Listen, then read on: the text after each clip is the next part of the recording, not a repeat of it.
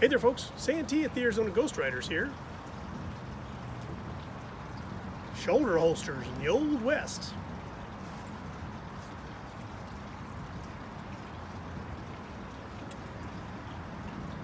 Let's talk about it. Shoulder holsters are an interesting way to carry a firearm.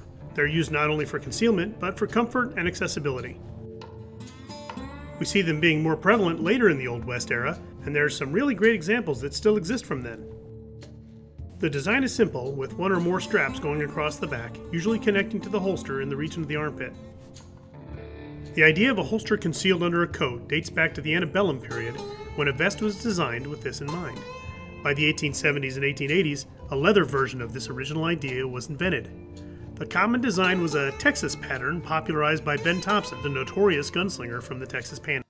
Charles Longfellow, a former Ghostrider, has some Old West limbs in his family tree, his great grandfather, John Henry Longfellow, was present at the 1884 Medicine Lodge bank robbery. That's him holding the jail door open in the background. By 1900, John was the marshal of the peaceful little town of Peru, Nebraska, where he broke up illegal card games and put drunks in the hoosegow. This was the shoulder rig he wore. The revolver in it is his nickel plated Harrison and Richards break top chambered in 32. You can see that the shoulder holster got a lot of use during Longfellow's tenure as a lawman and experienced some alterations.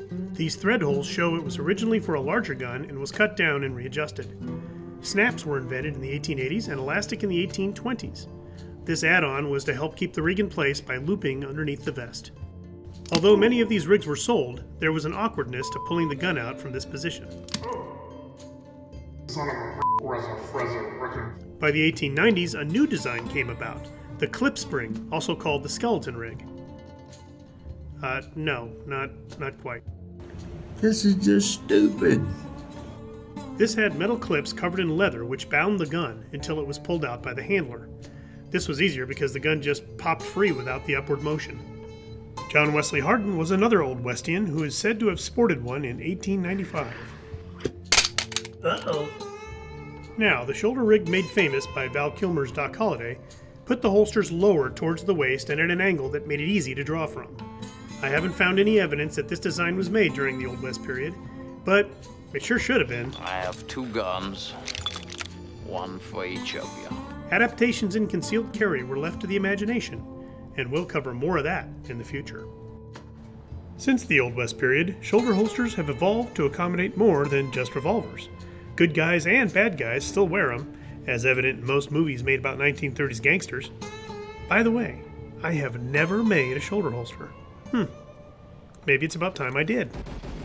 Don't worry. When I do, I'll film the whole process for you all. Well, folks, that's it for the episode on shoulder holsters. Hope you learned something. And as always, please like, share, and subscribe. And we'll see you on down trail.